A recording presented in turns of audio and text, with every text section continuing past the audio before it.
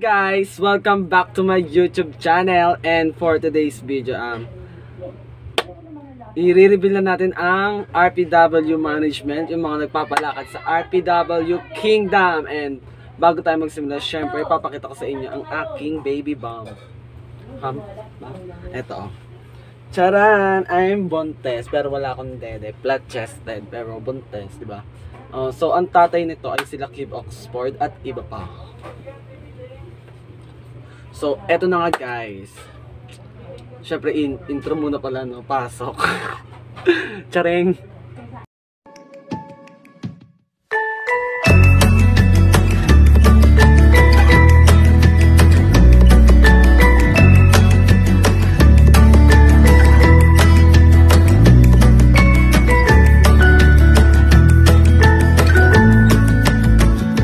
So, ayun na nga guys.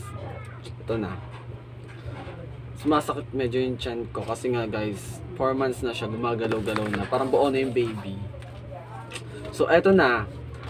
Syempre unahin muna natin ang RPW creator na si Gab Colonel Colonel ayan ayan siya po yung nag-create ng RPW kaya po meron tayong RPW ngayon na pinag gagalawan. So, medyo nagagalit na nga siya kasi ang daming toxic sa RPW. Like, yung mga naglalabas ng OP, mga ganyan, puro away, di ba? Tapos, ayan, sa isang click niya lang talaga, ano, burado lahat ng RPW. Burado lahat. Pati yung mga ano. Yan, wala na tayong RPW pag ganun. Um, sumunod naman ay ang Vice President ng RPW na si Taro Einstein. Ayan, si Taro Einstein. Siya po yung umaalalay sa President na sa President ng RPW. Ayan po siya po. Um, ayan oh, di ba? Kita nyo. So, siya po yung pangalawa sa mga mga kapangyarihan talaga dito sa RPW no? yung mga malalakas talaga na hindi kailangan hindi kayang matalo ng mga iba kaya yung mga ranter niyan hindi sila maano ma troll troll ganon kaya eto naman. Ang president of RPW na si Lux Einstein ayan. Ayan si Lux. Ayan isa din yan. Siya yung ano katulong ng vice president. Siya, siya mismo yung gumagawa ng mga batas ganon siya yung mga siya yung nagbat, nagawa ng batas ng no to open related mga ganyan. Bawal magjowa sa RP yan bawal yan kung mahuli man kayo nito guys yung account nyo is makukulong. Makukulong kayo. Yes.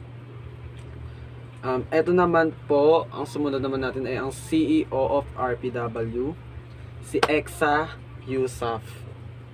Ayan. Ayan, siya naman si Exa Yusuf ay tiga-approve ng mga batas na pinap na ginagawa ni Lux Einstein. Ayan, siya yung tiga-approve kung pwede ba yan, ganyan-ganyan. At and hindi nyo rin siya sila matatalo sa mga away-away guys. Kasi, sino ba kayo? Alipin lang kayo. ba? Tsaka ang kapal na mukha nyo para awayin kami, ba?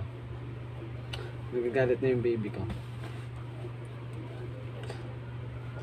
Ang sumunod naman natin ay ang Prince of RPW na sina Queen Vios. Vios ba to? Bios. Vios. Bios. Basta yun. Si Queen. Queen. Queen. Queen. Basta yun. Basta Prince siya. Tsaka si Stephen Fentes. Ayan po. Ayan po yung pinaka-pinaprotektahan namin lahat. Yung mga prince namin at princess. Ayan. Kasi sino ba naman kayo para wayin sila, di ba? Pag inaway nyo sila, hindi nyo alam kung kano sila kakabagsik makipag-away. Kaya, manahimik na lang kayo. Walang, huwag kayong kumontra sa amin. Kasi kami ang superior sa RPW. Ang sumunod naman natin ay ang Princess of RPW na sina sino to? Artemis Craig and Achi Achi Craig. Ayan, silang dalawa or isa lang account nila. Basta yun. So, ayun na nga guys. Ayan, isa din yan. Ayan o. Oh. Wait. Kasi, kasi pag princess kasi, kailangan ano, maganda. Magaganda naman kaming lahat doon at gwapo, di ba? Kaya, sila po, kaya napili po namin sila maging prince at princess kasi sila yung pinakamaganda at gwapo dito sa RPW. Kaya, kaya kung kayo ay aano na kung kayo ay ma tawag dun ko kontra ganda ka.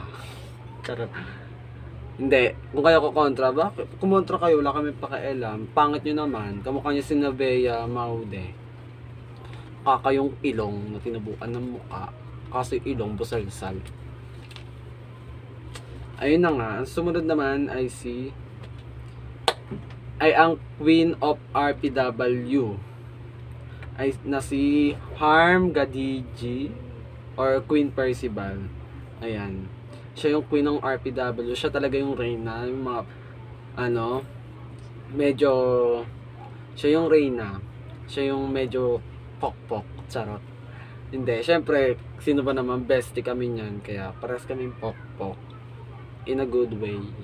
Bitch. Ayan, si Queen Percival, ayan talaga yung wag niyong aawayin talaga sa lahat. Kasi, pag inaway mo yan, te, di ka titigilan yan, kahit bati na kayo, di ka titigilan yan talaga. Hanggang mamatay ka, hanggang impyerno, magsama kayo, mag-aaway kayo. Kaya, huwag nyo kaming kakalabanin. Ang sumunod naman ay si Chun Bren, King of RPW. Ayan. Si Chun Bren naman, ayan, naging kaibigan ko din, yes.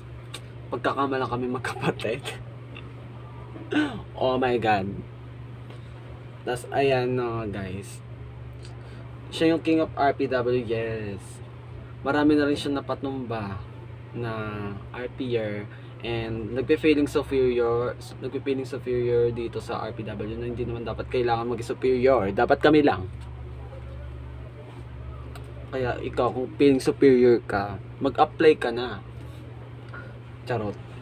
Bawal mag-apply kasi nga kami lang dapat. Ayan, si Chun Bren yan. Isa pa din yan. Pag may nakapag-away guys. NBI ayun.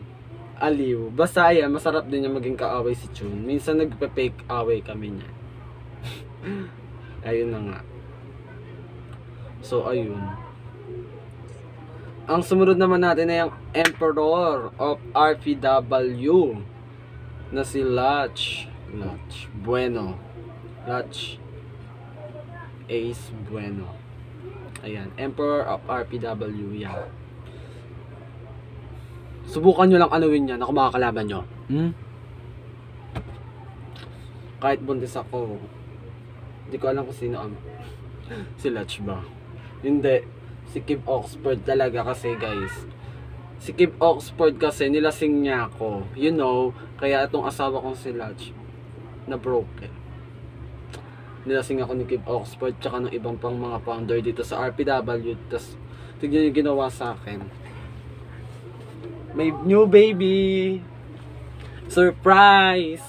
Bitch. So ayun. Wag nyo lang talagang gagalawin si Lach kasi kahit kaibigan kahit yun ba kahit kaibigan pa kita tataluin kita. Wag mo lang anuin yan mm. kaya ko din makipagkarate kahit buntis ako. Subukan nyo lang anuin yan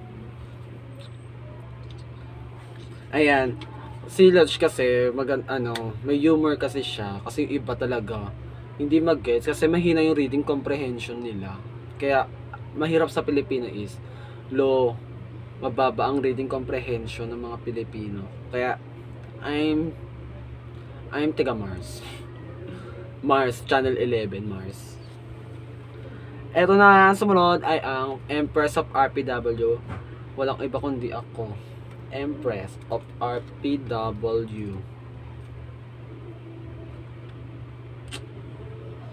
Kilala nyo naman ako, di ba? Lalo na yung mga Kobido, Enoikia, Maude. Ayan yung mga yan, mga Oxford, Chua. Kilala naman nila ako. Kahit anong gawin nyo, hindi ako maiinis sa mga pinagagawa nyo sa akin. Kayo pa may inis. Ayan, Covido, yan. Marami na ako napataob dito, Diyos ko. Alam nyo, kahit bati na kami ng mga yan. Example, Covido, ba- nakaraan kasi nag-away kami. Pati na kami, inaaway ko pa rin sila. Ayan, kaya nag-signing off sila. And marami na rin ako napabagsak na ano, Binabay na Pam, Montefalco, Jacinto, ayan mga Alfonso, ayan. You better watch out, bitch. And malakas naman ako, talaga. And I'm the most powerful person here in RPW. And no one can replace that, bitch. Per. So, ayun na nga. Yung mata ko, inaantok pa kasi ko. Kasi kakagaling ko lang ng Iceland na malengke ko dun. Bumili kong yellow, tigta 3. Alam mo yung 3, 3 million. And ang sumunod, last but not the least, ay ang Mother God of RPW. Walang iba kundi si Sinclair Colonel. Yan, siya yung God ng RPW. Kaya kailangan talaga sinasamba. 'Di ba? Sambahin nyo. Tama. Kaya ayun guys, sambahin nyo siya. Kung hindi, baka hindi kayo gantimpalaan at mag magkaroon ng sakuna dito sa RPW. Kagaya na nga lang ng sunog, sunugan account, 'di ba? Kami-kami lang yung mga natira dito. Syempre kami yung superior. At hindi hindi nyo na mababago yun. Tama. Hmm. Kaya ayan, kailangan nyo siya. Hindi na dapat siya dapat kailangan. Patiran kami, di ba? Lahat ng nasa RPW management. Ayan. Kaya so ayun na nga guys, this is our this is my comeback video and I hope you all support this. Mga alipin, mga alipin, slave, yaya, katulong na RPW, na RPer. No? Ayun na nga, bye. Sunod naman yung mga, irarank natin yung mga alipin sa susunod na video ko dito. Bye.